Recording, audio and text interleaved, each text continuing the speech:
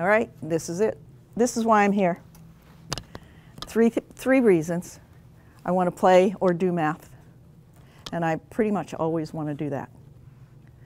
Um, I want to talk about uh, independent math assignments. And when we were growing up, it was homework. But that was because we all had somebody's home to go to. So right now, if I think about independent assignments, I want to tell you why it's important for kids to have those independent assignments, independent work, independent learning, okay? And I'm also here because there's dinner. I thought maybe that would be just perfect. Um, if you have questions, I have an Orange Southwest email, and you're welcome to use that. Okay. Um, I really genuinely believe that math is fun, and uh, I believe that learning it should be fun. Um, and so you're going to have a smattering of fun while we're doing this, okay? Now, I bought this game. This is Think Fun, and I got it at Rite Aid. And I think it was under $6. So it's just a bunch of dice. It happens to have a, a decahedron um, and regular, ordinary dice. So it's good for little kids as big as well because it's big. Um, but I've thought that it was a great camping game. So when I rolled the dice on my desk, um, the four came up as the target, and you have five dice with numbers. So you may use each number once, and you can use add, subtract, multiply, or divide. Remember to use each number only once to reach four. Try to use all five.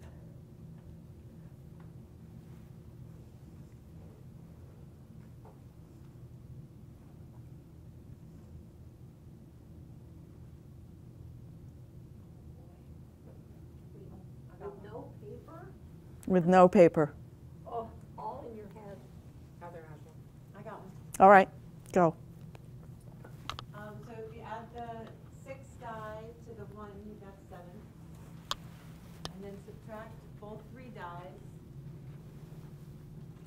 And you get 7 minus Six. is, You've got one. Mm -hmm. Oh, I messed it up. no, you didn't. Keep going. So you have 1. You have this One left. four, yes. One times four. Good. That's 1. Did you do a division? She did not. Oh, and or division. Yeah. Oh, you thought you had to use all the I operations. thought You don't had have to use all the operations. operations. Okay. But I can.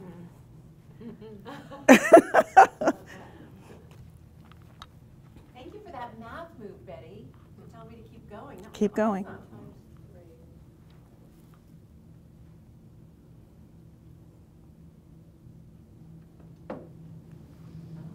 Three times six.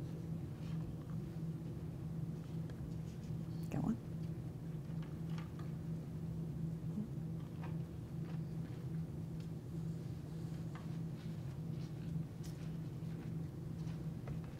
minus four would be eighteen minus four, fourteen.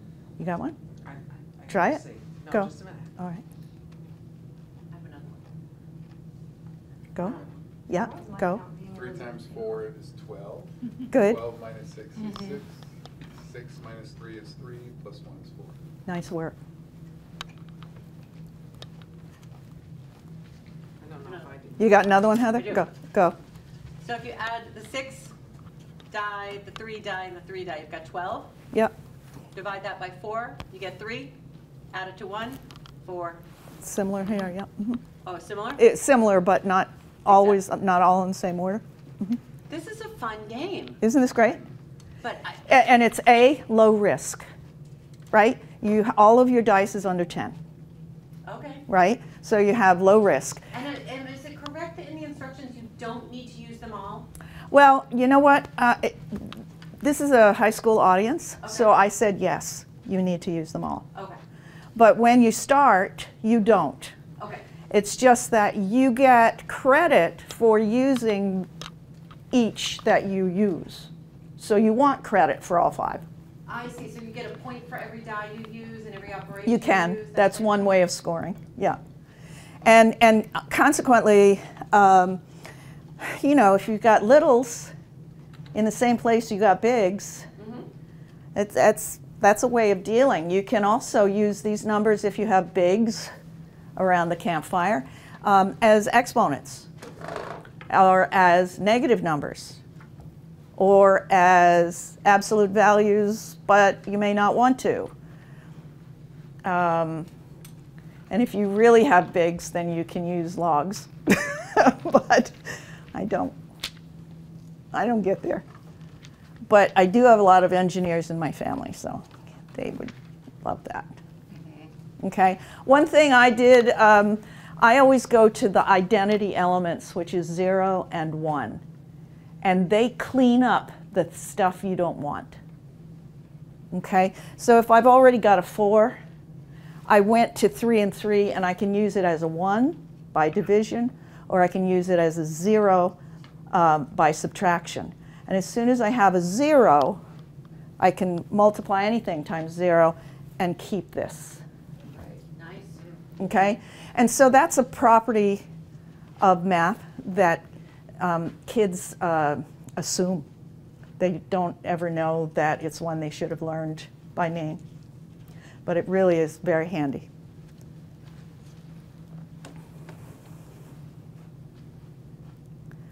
Independent learning, now that we've had a little fun. Um, it's all about really learning uh, how to live responsibly in our world. Citizenship kind of skills. If they can be independent and follow through, then they're being responsible. Um, and we share that task of helping the students accomplish this. So it's appropriate, if I had had a full audience of parents, um, it would be appropriate that we all share that task, that responsibility. And I think we do share that even, even with our roles here. Um, if we're community, we should all share it anyway. Okay? So um, these are ways, um, reasons that it's important that we do this independent learning. Um, it creates attention to personal accountability. Kids don't know that if they've done this, they have been personally responsible. And that's a pretty grown up skill. Um, and, and they should be aware of, of the, that as a skill and how grown up it is. Um, it, it provides an opportunity to problem solve about how to get the papers together, how to present their answers, uh, how to be sure they have a pencil or a pen working, um, how to organize their paper. That's problem solving along with the math. Um, but and, and it's always more than just calculation. It's math. Um, it offers a sense of pride in accomplishment. They're not going to say, oh, look at me, I'm proud of me. We have to do that. Um, but after a while, they'll see it. Um, BD is a big deal. It, this, it enhances the development and use of language. I can't not talk about language in math. There are all sorts. Hi, come on in. And grab a plate. I'm in the middle of it, so I'm going to keep going. All right, we'll, listen while we acknowledge. Excellent. Um, the use of language is, is enhanced when you have independent learning because um, they have to be precise. They have to read language that they heard in the classroom and attach it and actually say, oh my gosh, I heard this. And now I'm reading this. And it's, and it's kind of a new experience, a different, different part of your brain that you're going to access. Um, also, there is directional language and there's content language. And I've already talked to you about visual language versus auditory language. When the kids are trying to balance all of that, they've got to be independent. They've got to be able to practice on something that is tangible. And so that comes in. So it is a big deal. Um, it gives another reason to celebrate steps forward in maturity. We want any reason for an adolescent to step forward in maturity. And this could give us a chance to celebrate. Hi, Lane.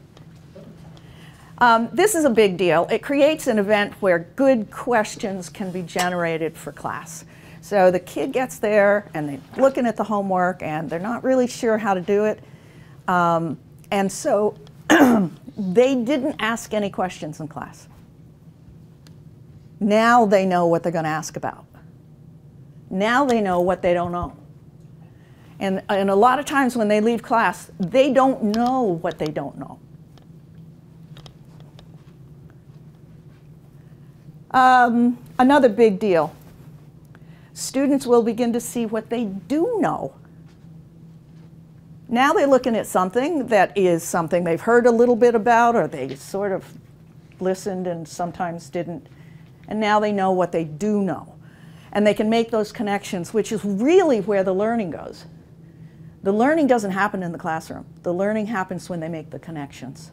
And they can't make those connections until they're working on actual, tangible information. Another big deal personal learning lasts longer than passive learning. You can try pouring it in there and it's not going to go. There are a couple leaks. I don't know where they are. Um, it also extends the lessons that are worked on in school for a deeper, better understanding of what's going on. Um, it allows the student time to practice a skill so as to create that foundation for something new to be built on. And these are the best reasons. It creates an opportunity for you to know what your student is learning so that you can share that. And it allows for a stronger partnership for your stu- students' um, real world skills. A partnership with an adolescent. It's golden, yeah.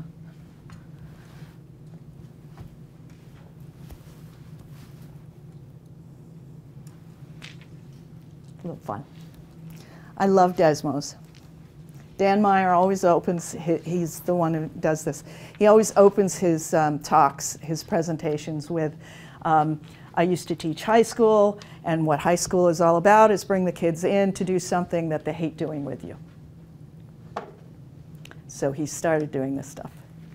Um, I don't know if I have this one. Let's go all the way back so you can see it. Okay. So the goal is get all the stars, get to no lines. So when you launch, can the marble wipe the stars out? Okay. This is a free app. You can put it on your phone. You can put it on your any of your laptops. Um, right? It's just so incredibly fun. I use this as an instant sub plan when suddenly I need one. The kids open up and they do this, they're ready. Okay. So I'm going to launch this. The line's wrong, so we have to do something.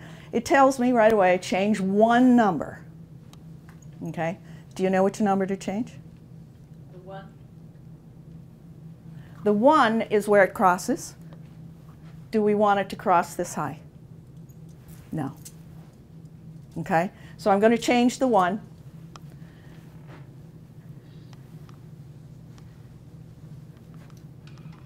To what? Where do I want it to cross? You want a 2? negative two. You want a negative 2? What do you think? Is it going to work? I think it's gonna work. Might work.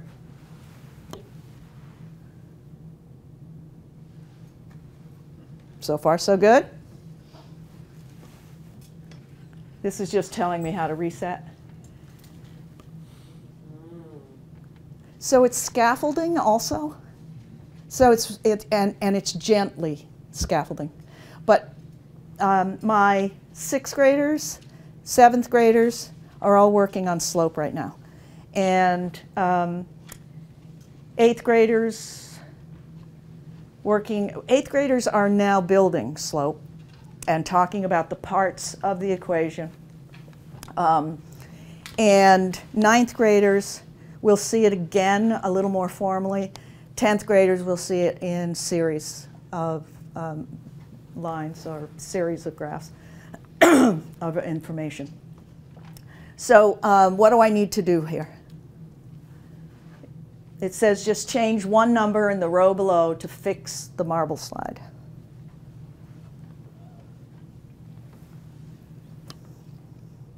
You changed the four, right?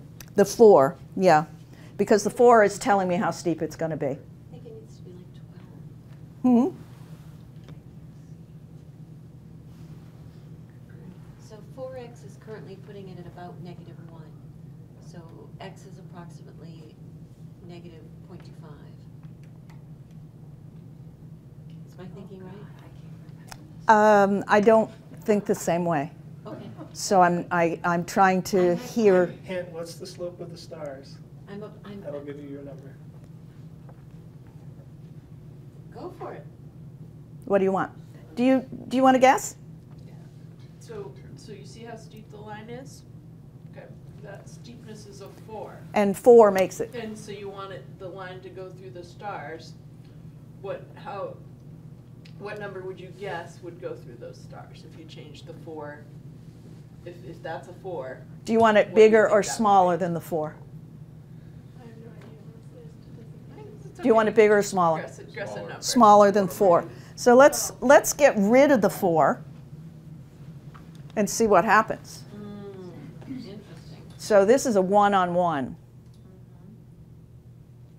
Or one You want one over two, which is, what would we call it?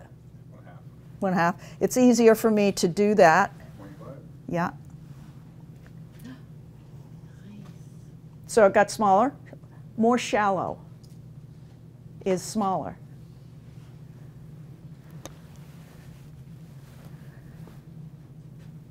And we did it. Here's the other thing that I wanted to point out right now.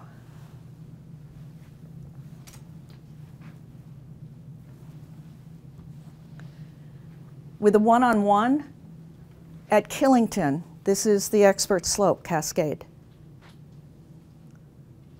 And you can't, you can't have it steeper than that, and it doesn't look very steep. I mean, when you're on skis, this looks like it would be really easy to do. But the Killington Cascade is this. Um, if you go to Disney World and you go out the water, I forget what the Splash Mountain, I think it's called, and you're in the little boat and you go out and the and the track is done and now you go over the front and into the pond. Okay, that over the front slope is a one-on-one. Okay, and and the problem is and Lane, help me with this here. Um, your boat is coming out at a certain speed, or you're going down the mountain at Killington at a certain speed. You would go end over end because the the whole gravity adding to this um, is not helpful. When you have a seven percent slope going over Mendon Mountain into Rutland, I think it's seven percent there, and that's seven feet dropping for every hundred feet. Doesn't seem like very much at all. But if you're in an 18 wheeler carrying a double load with six brakes to watch and 18 wheels and 13 speeds or 15 speeds, I forget what I had, but um, it, it's, it's sizable at that. Okay, I'm going to keep going and come back here to this. And okay, back to independent learning. All right? What do we have to do to encourage it?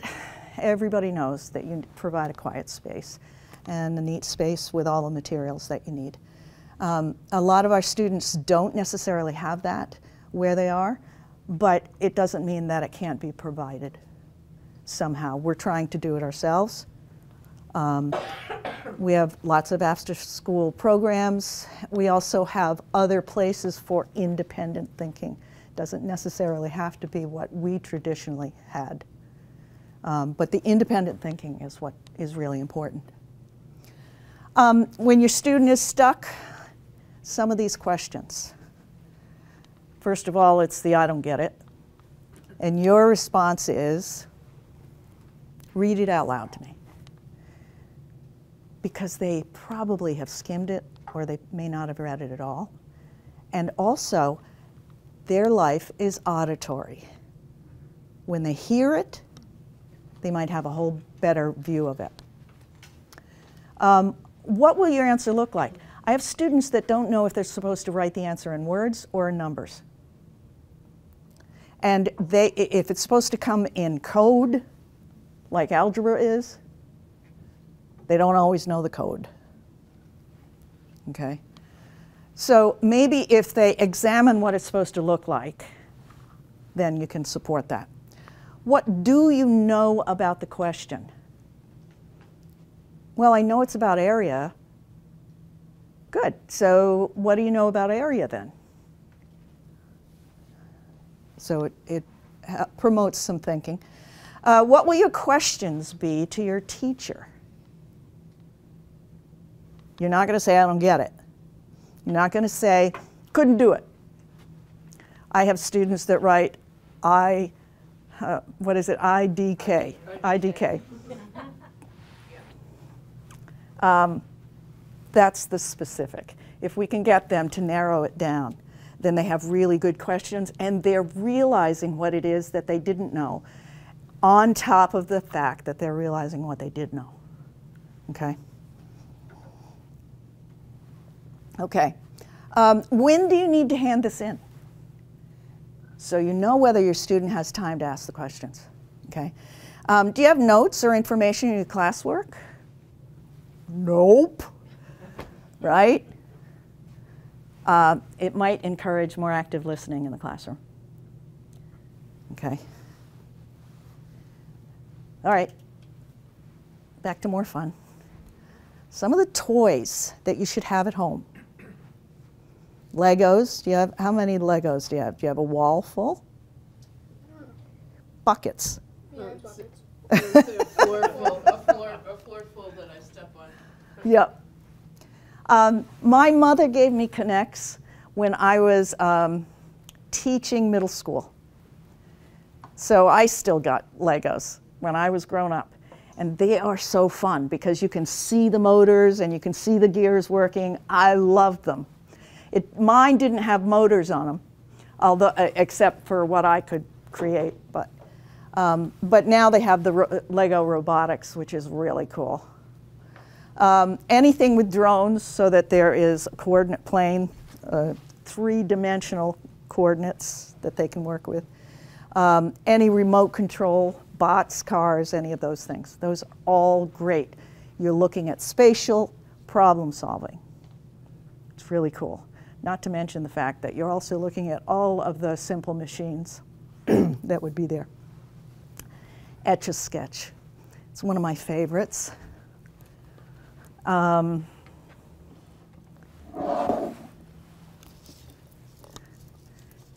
you know, what are you, two years old and you're carrying your Etch-a-Sketch around and dragging it everywhere you want to go. But it is a coordinate plane. This is the x coordinate, and it does go horizontally. And it does go in a positive direction to the right and a negative direction to the left. And this is the y coordinate. It does go vertically, and it does go positively up and pos uh, negatively down. And when you're doing integers, and you do a positive direction and a negative direction, you're going to have a negative.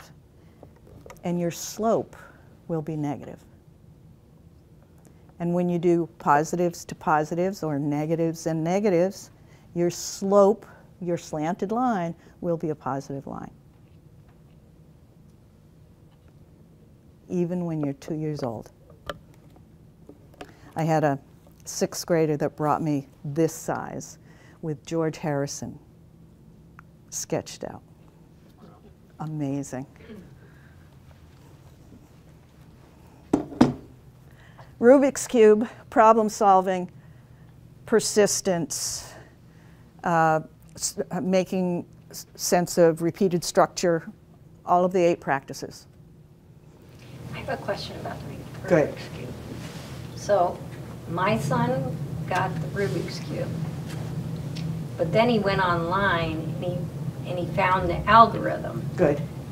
So then he, and this, then he would practice the different algorithms. And then there was one that was, then he was starting to time himself. Good, good. But then that was a slow algorithm, so then he went back online and he found another one Nice. that's faster. Yeah.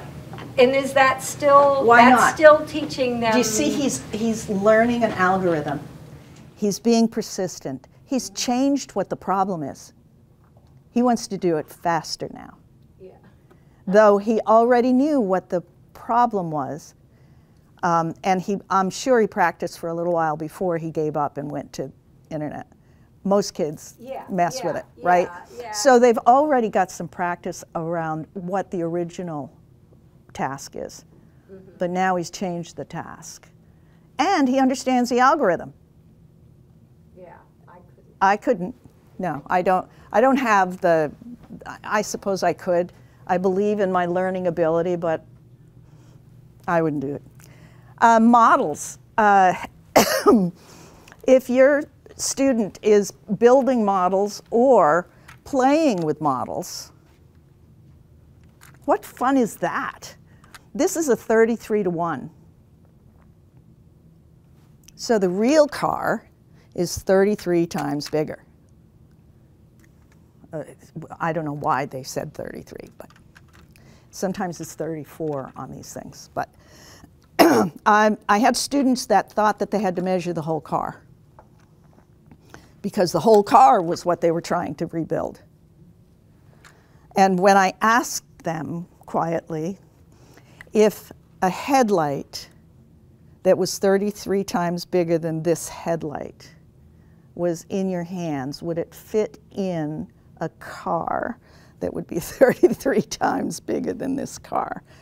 Then they saw that it was okay to measure any part and, and figure it out. Because I had two groups. One group was measuring the real car, and the other group was measuring this. And they were, they were trying to figure out what it was to get to a unit rate.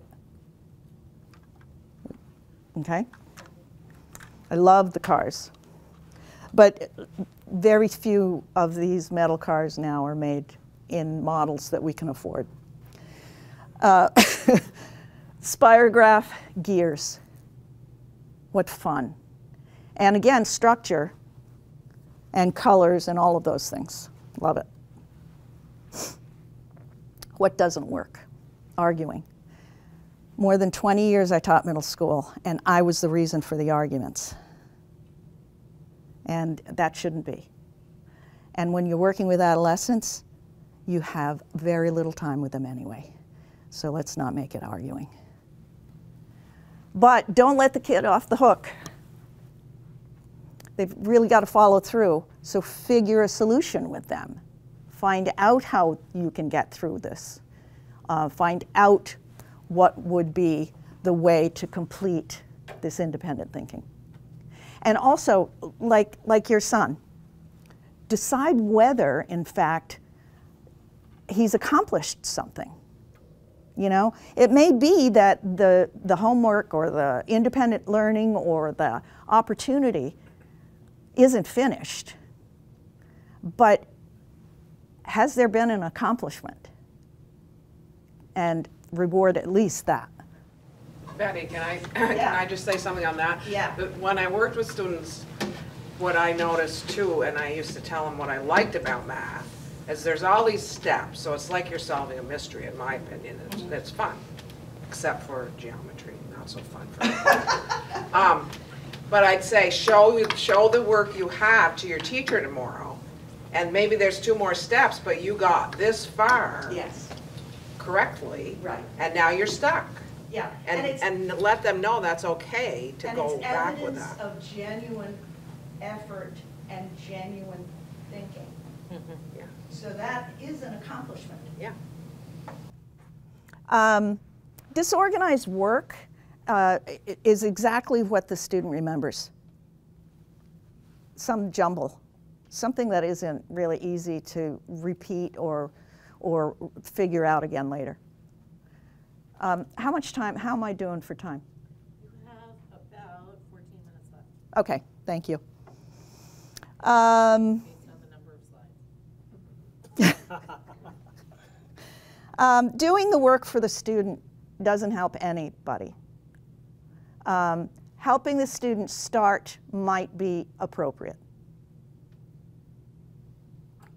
Um, this last one, don't throw the teacher under the bus because the student will take that inch and create a mile.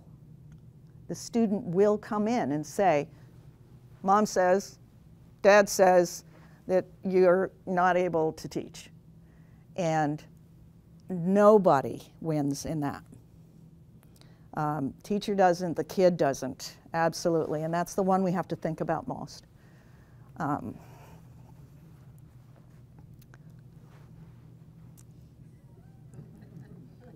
don't you love it?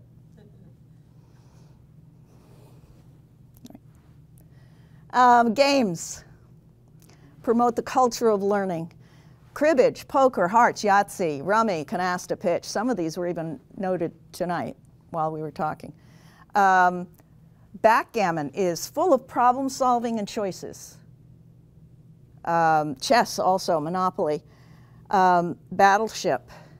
Uh, by the way, Desmos has a really cool uh, level of battleship that actually uh, scaffolds. Chutes and ladders. Whew.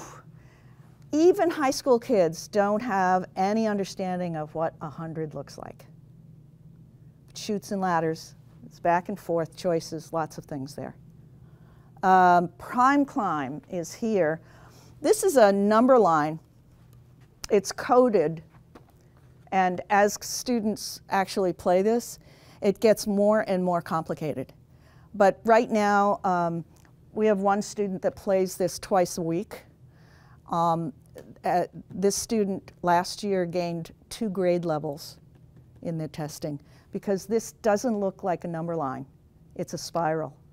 And like I said, it's coded. So you can use it for even more of the fluency that you might need in math. And magnitude. She had, uh, this student had no magnitude, which I want to talk about. Um, there's lots of stuff that we use. Uh, Muggins is one game that's a target game like this. Um, multiply or add war, you deal out who gets the highest um, sum or product, and then you get all the cards.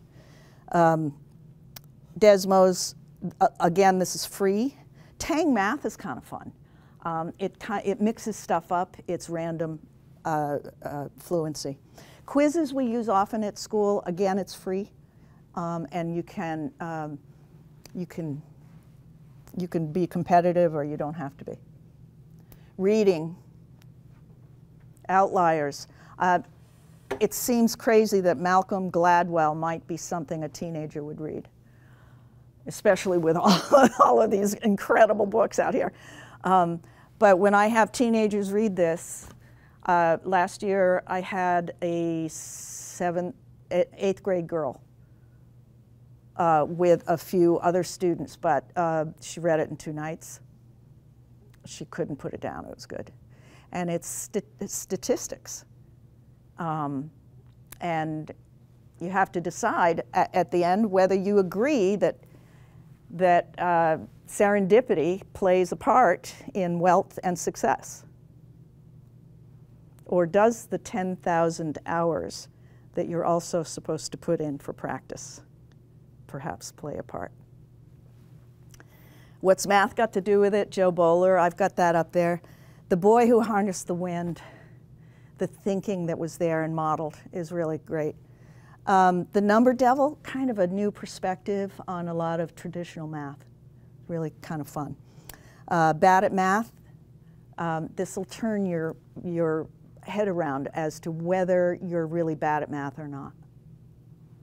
Um, and, and Orlin always writes in such a way that it's funny but real good. Movies. I didn't write whether they were PG or not, okay? So you got to look that up.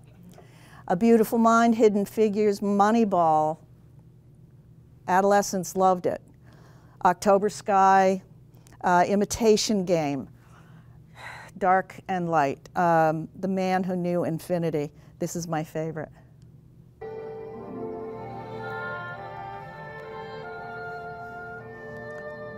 Do you know this one?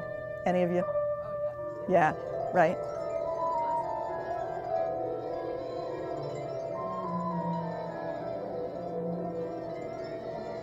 I just want you to hear him. Come on.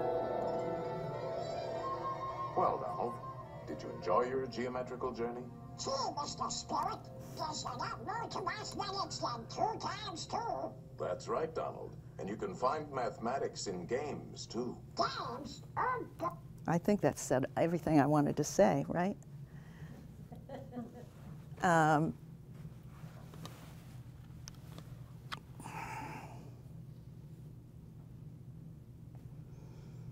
magnitude.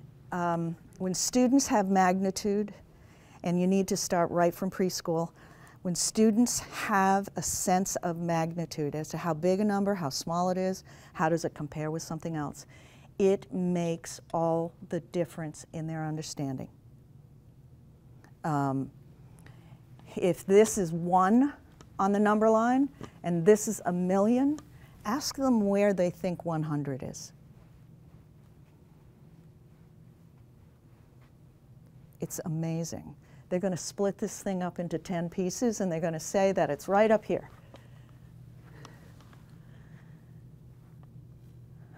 No, I got an audience that knows that it's right down here because this is a million pieces to get here. Um, change the number line, find out where is 12 hundredths. I have high school students that will put it below zero. Where is one third? Where is eight thirds? They lose it. They don't really know. Again, this is visual direction. They've heard it, but they haven't tried it out. This one here, 12 and 22, 12 doesn't, isn't a 20T. So it's not 12T. So they think this is in a whole different realm than the T's. Earlier. As it grows, we hope they get better at it, but some don't because again, we're looking at how is the language doing. Experiences in, your, in their lives, unit pricing, they're looking for bargains. Can they find them? Gas mileage, they're looking for adventures. Can they afford them? Elapsed time, when do you put the turkey in? And then when do you start the potatoes? Um, percent tip, did they get ripped off? In the bargain. Slopes, lots of them around them. Wheelchair slope, dog access on their bed, right? Uh, rise and run, reality of the 1-1 slope. Gardening, fertilizer calculations. I don't know I, a lot of people who can do that. But the fence post counting is one less if it's all the way around, right? Building birdhouses or anything that has a roof pitch, materials that need to be figured out, board feet, uh, area to be painted is always an issue. Cost, this is what adolescents want. The cost of the new car, plus the insurance, plus the interest on the loan, plus the gas, and how much the insurance went up after the speeding ticket. And male insurance versus female insurance.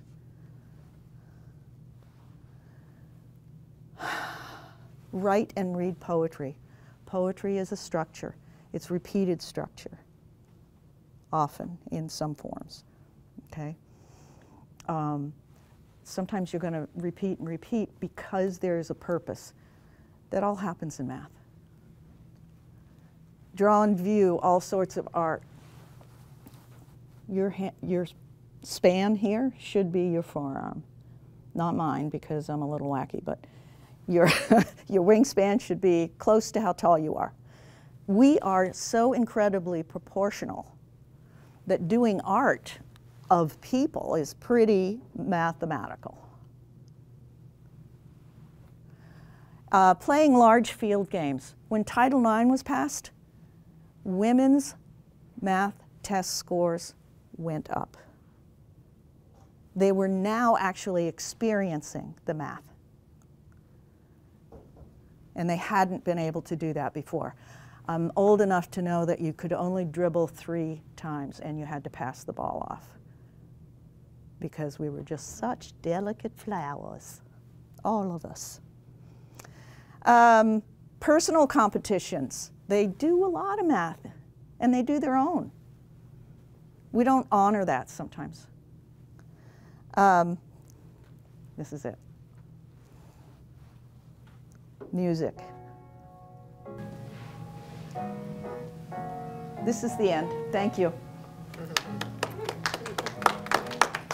I love this one.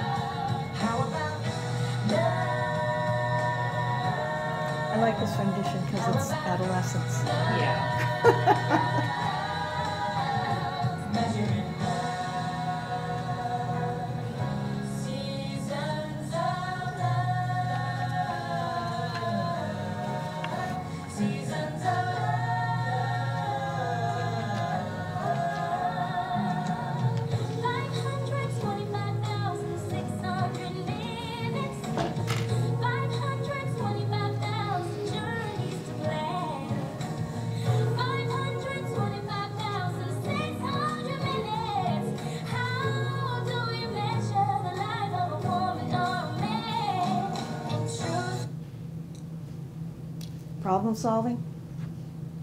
Tons. Uh, repeated structure? Tons. Precision? Tons. Those are the eight practices.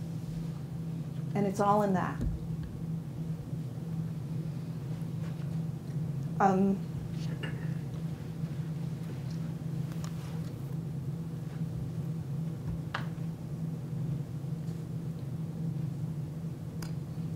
you're the best audience.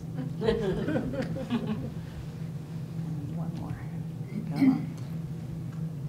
Didn't you, didn't you even do it? It didn't go on. The Okay. joke, the joke was back. Did the joke? It's the next slide back. Oh, that's it.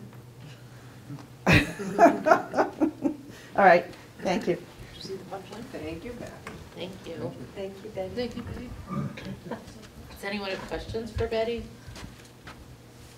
Take, take a minute before Lane starts and have a look at some of the things that I have there. Um, Some of them are the games that I talked about. And, thank you.